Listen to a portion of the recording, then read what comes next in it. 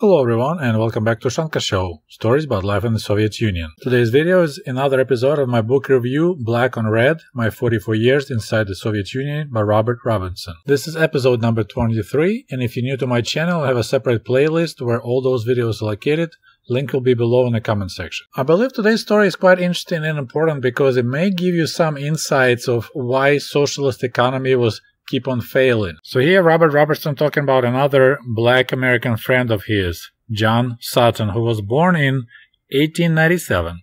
Sutton had studied at the Tuskegee Institute, Drake University, the Massachusetts Agricultural College, now part of University of Massachusetts, and had a master's degree from Columbia University. Very impressive list. Early in 1930, the Soviet Union invited George Washington Carver of Tuskegee Institute to help them develop the agricultural industry. Rather than going himself, he recommended Sutton, who then arrived in Moscow in 1932 as one of a group of eight black American specialists in agriculture, poultry, and cotton. From Moscow, they journeyed to Central Asia, and other parts of the Soviet Union to advise Soviet farmers, well, advise Soviet collective farm managers on ways to improve crop and poultry production. And Robert continues Sutton stayed in the Soviet Union, and I looked up, he not just stayed in the Soviet Union. Right away in 1932, he married a Russian lady.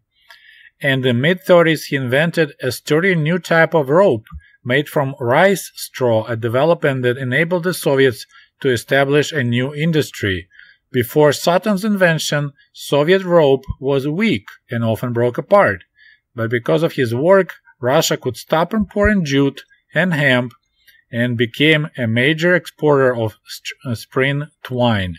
I asked Sutton what he received for his invention. He smiled and said, My organization gave me a couple of hundred rubles which was not much money. One day after Sutton had returned temporarily to Moscow from Uzbek Republic in Central Asia, so Guy was uh, traveling all over the Soviet Union, I asked him what life was like for him professionally. To tell you the truth, Bob, he replied, life in Uzbekia, that should be Uzbekistan, is far more far from simple. I meet resistance every step of the way when I try to introduce new methods of technology. People are so accustomed to doing things the old way, they really do not want to change. Our efforts also suffer from a great shortage of equipment. I talked to my boss, he said. I have written to Moscow. I received promises from everywhere that the situation will be looked into, but nothing has changed. I just give in and do the job the way the people want it done and keep my innovations to myself. But then I feel guilty because the result is just the opposite of what I was brought here to do. But how is it for you in the factory? And now Robert's turn. Resistance to change is not as great or as direct as it was when I first arrived, I told him. My proposals are rejected, ignored, or accepted, but then I am not allowed to implement them. I solve the problem by working after hours and then inviting the superintendent, the chief engineer, the department foreman, the party secretary to a demonstration of how a job can be done more efficiently and in less time.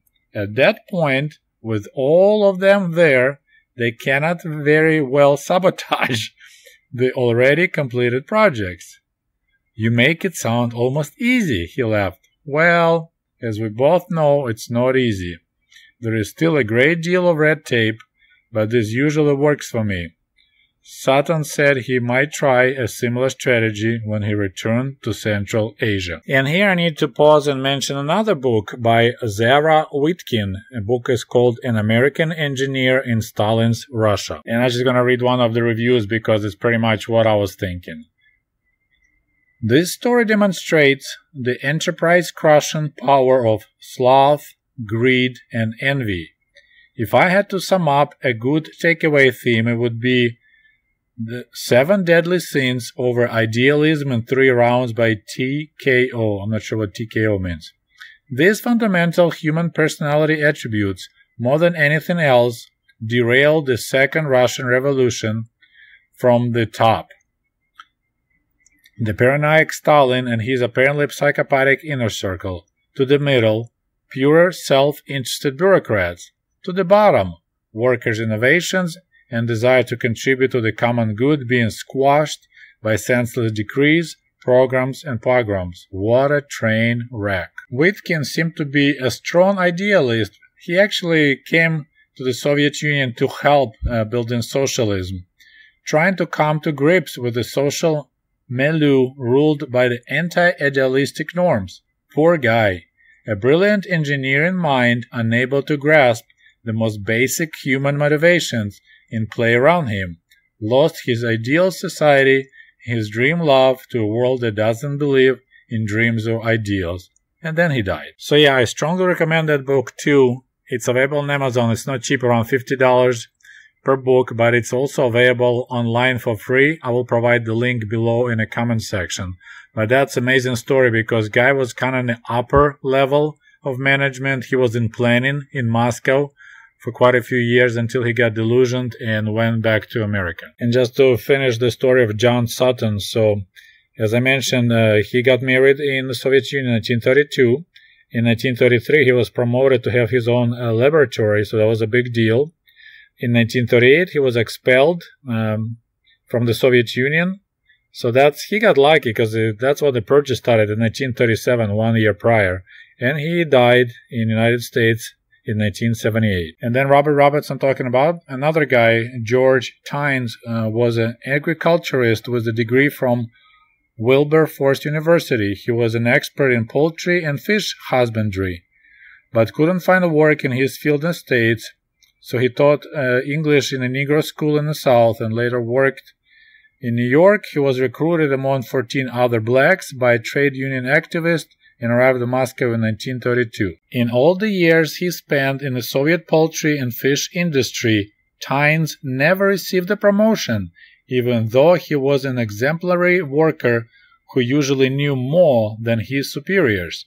Because of him, the Soviet poultry exhibition won first prize an international fair held in Belgium in mid 50s. However, it was his supervisor who received the medals and was acclaimed as industrial hero in a Soviet newspaper and radio accounts. Tynes was simply listed in the fair's program as a technician. Although he had become a Soviet citizen, he was a black, non-native, and Kremlin was obsessed with impressing the world with the superiority of the Russia's own people. Once back in Moscow, George was given two of the medals awarded in the competition. Even though he was denied full recognition for his efforts, Tynes was nevertheless proud of his medals and wore them whenever he came into Moscow. He particularly enjoyed seeing the startled reaction of many Russians who were unprepared to see evidence of black men succeeding professionally in Russia. So over and over again we see the same motif, same theme that although there was no racism in the Soviet Union, there was plenty of racism in the Soviet Union. It wasn't on a like a state level, not official, like it was United States. You know, bathrooms only for blacks, you know, buses only for blacks or whites. It was all hidden, but still it was in play because it was important for the Kremlin to show superiority of its own people, not the people who came from other countries, especially black people. And once again, I strongly recommend Zara Witkin book. I found it surprisingly good. When I found out about originally, I was kind of skeptical because there's a love story going on, which is really like a cheesy Hollywoody story, but it's real.